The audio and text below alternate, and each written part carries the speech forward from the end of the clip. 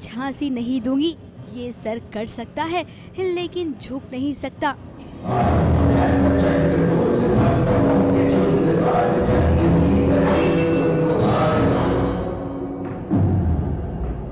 जिन हाथों में कंगन पहने जाते हैं, वो हाथ तलवार चलाना भी जानते हैं। इन सभी बातों को सुनकर हमें याद आती है, खूब लड़ी मर्दानी, वो तो झांसी वाली रानी थी।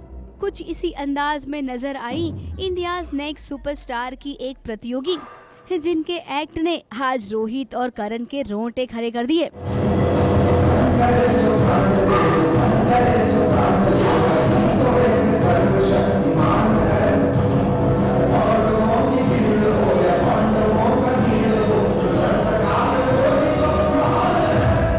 को इंडियाज नेक्स्ट सुपरस्टार के मंच पर वैलेंटाइंस वीक मनाया जा रहा है। लेकिन झांसी की रानी के इस दमदार एक्ट ने वैलेंटाइन डे को साइड में रख दिया। क्योंकि देशभक्ति के आगे कोई भी डेट टिक कहाँ पाता है?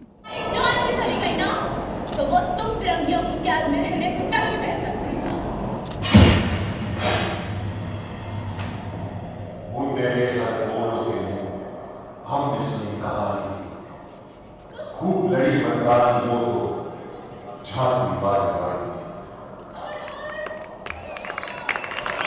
प्रतियोगियों के हर एक्ट को करण और रोहित बड़े ही गौर से देखते।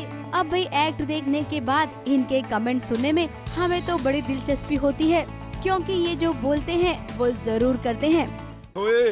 ओ नहीं ये कैसे ये ये आपने ये चेहरा देखा? रोमांस और लव। करण जौहर जब सामने बैठे हो तो हम हमारी ये औकात हमारी ये हैसियत कि हम करण जौहर के सामने रोमांस और लव की बातें करें। शादीशुदा मैं नहीं हूँ आप हैं। लेकिन सारी ऐसी फ़िल्में तो आपने बनाई हैं। आपने बना बना के हमारा जो खर्चा करवाया है ना जो कार्ड खरीदवाया ना आपके कुछ कुछ होता की वजह से हमारा सारे जो उस वक्त देखो जो घर जो घर पे नहीं होता है वो बड़े पर्दे पे हो जाता है। आखिर पे मैं आज एबीपी न्यूज़ के थ्रू मैं बोलना चाहूँगा कि उस 90s के जितने नौजवान थे उनका खर्चा इन्होंने बहुत कराया। हमारी जो अब बीवी बन चुकी है जब गर्लफ्रेंड थी इनकी फ़िल्में देख के आती थी और बोलती थी कि तुम वैसे क्यों नहीं? हो? उस चक्कर में क्यों नहीं? फिर लाल फूल लाना कार्ड लाना अच्छे कपड़े लाना अच्छे कपड़े पहनना शाहरुख खान जैसा कूल वाला हम ढूंढ ढूंढ के थक गए वो लॉकेट हमें आज तक नहीं मेरे को एक और चीज़ याद है। हम्म, वो वो अच्छा, अभी पिक्चर नहीं है है। वो जो ब्लू वाली टी शर्ट अच्छी साइकिलिंग वाली टी शर्ट पोलो वाली वाली। पोलो स्पोर्ट वाली टी वो टी शर्ट ढूंढ ढूंढ के मैं थक गया। क्यों? मेरा हाँ, दूध वाला पहनता था वो।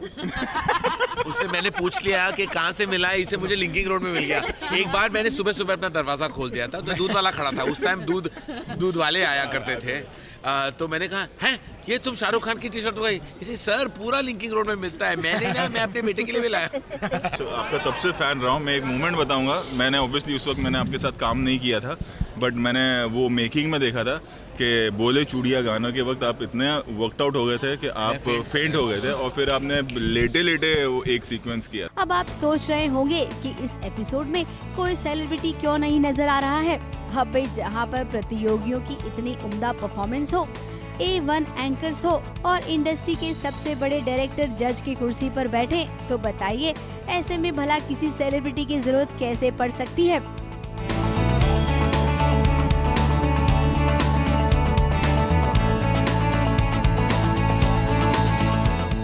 से जयता मित्रा सुवर्णा के साथ एबीपी न्यूज़ रिपोर्ट